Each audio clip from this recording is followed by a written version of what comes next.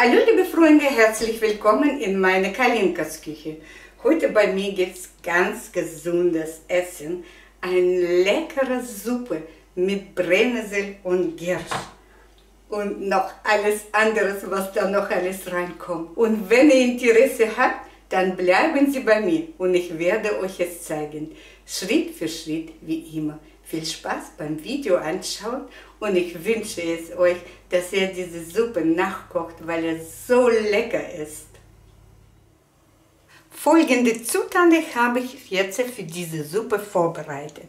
Ungefähr so zwischen 300 und 350 Gramm Kartoffeln, zwei Eier hart gekocht, die habe ich schon klein geschnitten, ein Zwiebel, auch klein geschnitten, eine so kleine Paprikaschote, muss nicht unbedingt sein, und eine große Möhre habe ich auch grob gerieben. Anbraten kann man mit Butterschmalz, aber als Veganer könnt ihr auch Öl nehmen und mit Öl anbraten, weil diese Suppe kann man komplett vegan kochen. Habe ich jetzt meine Gemüsepaste wieder neu zubereitet, werde die anwenden und natürlich Salz, Pfeffer, Paprika edelsüß ähm, kann man damit äh, würzen.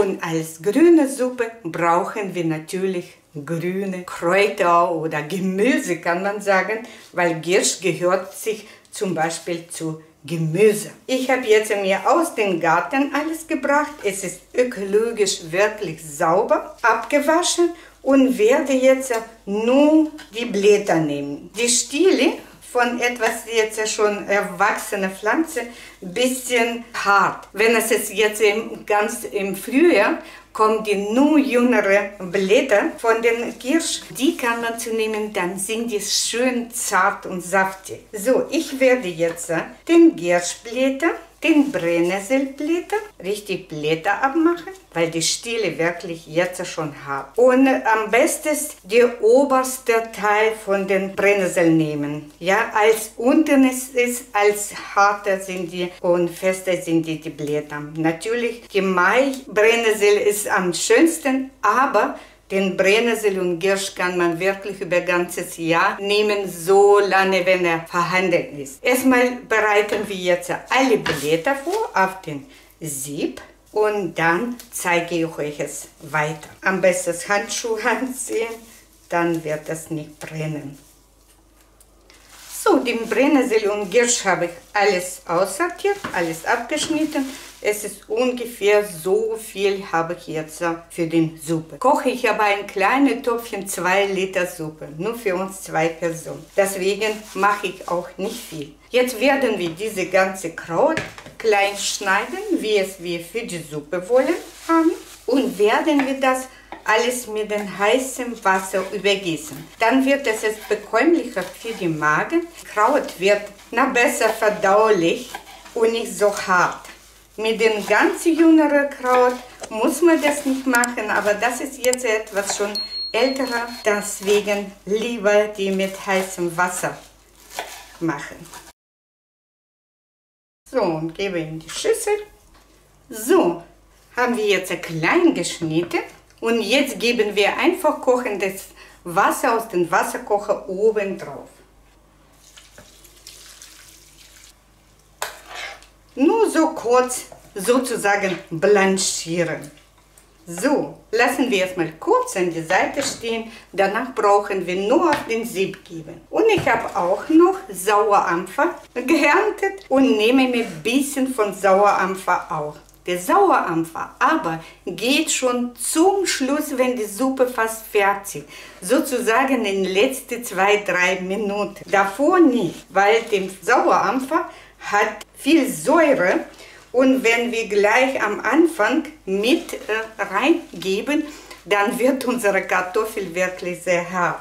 So, den schneide ich auch einfach so fein und gebe einfach so eine Handvoll von den Sauerampfer. Gibt Geschmack und auch natürlich Vitamine. Und ja klar, es wird alles gekocht, es wird alles heiß, aber trotzdem, alle Vitamine werden die nicht kaputt. Es bleibt schon was übrig. Aus dem Sauerampfer kann man auch leckere, süße Piroge machen. Wenn man die Sauerampfer schneidet in den Quark und füllt damit die Piroschke. Das schmeckt auch sehr, sehr gut. Wo meine Kinder klein waren, die haben das geliebt. So, das wird dann schon reichen. Für zwei Liter Töpfchen muss man nicht viel reinmachen, sonst wird das zu sauer. Das Rest kann man einfrieren oder in die Beutel jetzt reinmachen, so feucht und in die Kühlschrank liegen. Es wird auch zwei, drei Tage im Kühlschrank im Gemüsefach gut halten. Und außerdem, ich habe auch ein Video, wie kann man auch die Sauerampfer haltbar machen. Oder wird man ihn einfach im Salz anlegen, so wie es macht man mit dem Gemüsepaste, wird er auch halten.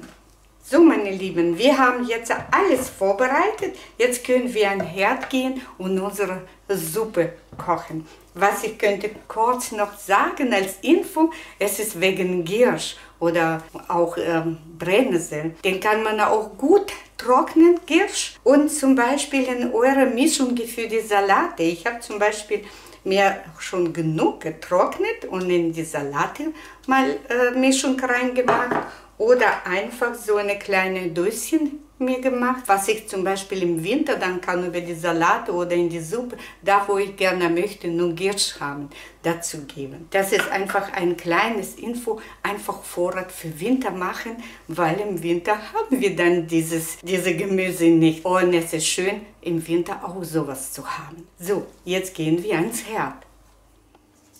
Wie gesagt, ich nehme ziemlich kleinere Topfchen. Er ist nur zwei Liter bis dahin. So zweieinhalb. Ich mache mit dem Butterschmalz. Deswegen gebe ich so ein Stückchen Butterschmalz. Sonst kann man, wie gesagt, mit Öl anbraten. Als erste geben wir dann Zwiebel.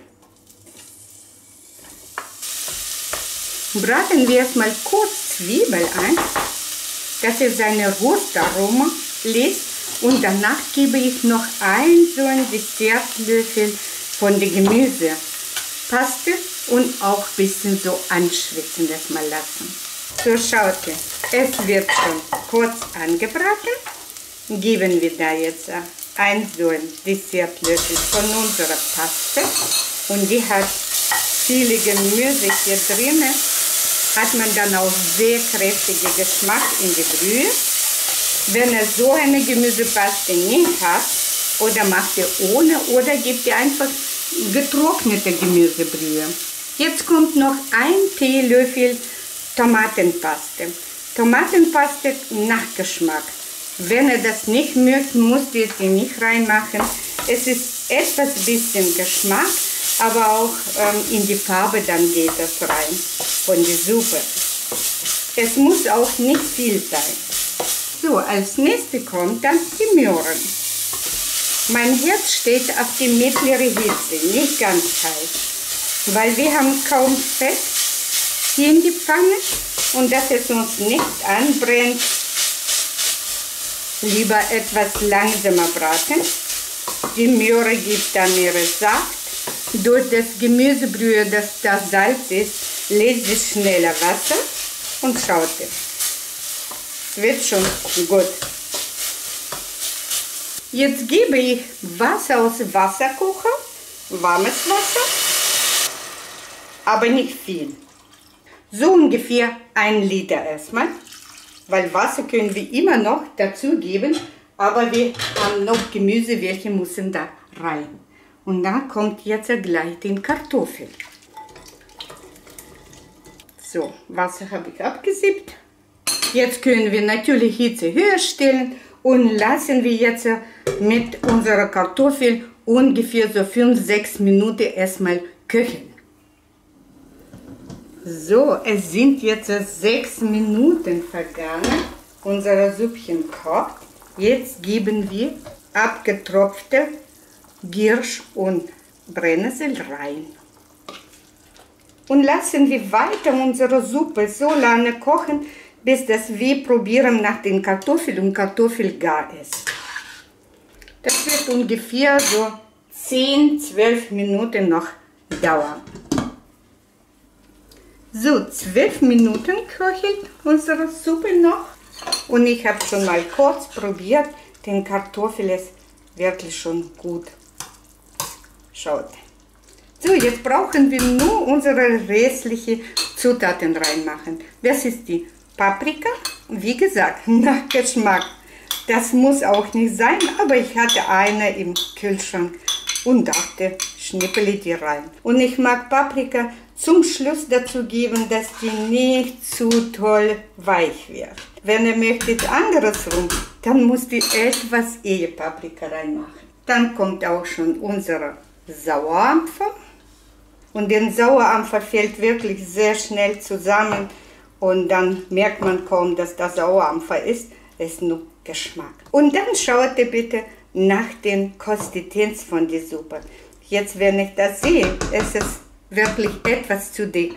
Deswegen gebe ich einfach kochende heißes Wasser aus dem Wasserkocher. Nicht in kaltes Wasser reinmachen weil dann den Kochvorhang fällt gleich runter, muss es lange, äh, bis das es wieder aufkocht. Lieber gleich heißes und dann kocht es einfach weiter. Und diese Suppe natürlich könnt ihr auch mit Fleisch kochen. Bei mir heute ist vegetarische Variante, aber diese Suppe kann man vegetarisch, mit Fleisch oder sogar vegan kochen. So, dann kommt jetzt noch die Eier rein. Und dann probiert ihr nach Geschmack, nach Salz. Würzen wir gleich. Schaut, wie toll sieht unsere Suppe. Da will man doch gleich essen. Gebe noch ein bisschen Kräuter, in meinem Fall Petersilie und von den Knoblauchgrün. Dann Pfeffer. Wenn ihr möchte Schärfe, kann man auch ein bisschen Chili dazu geben. Ich gebe Paprika edel süß. Und ich habe es probiert, es fehlt ein bisschen noch Salz, deswegen gebe ich noch ein bisschen Salz. So, aufkochen und dann kann man Herd ausmachen und die Suppe ungefähr so 10 Minuten ruhen lassen, einfach im Topf. Und danach kann man schon servieren. Schaut.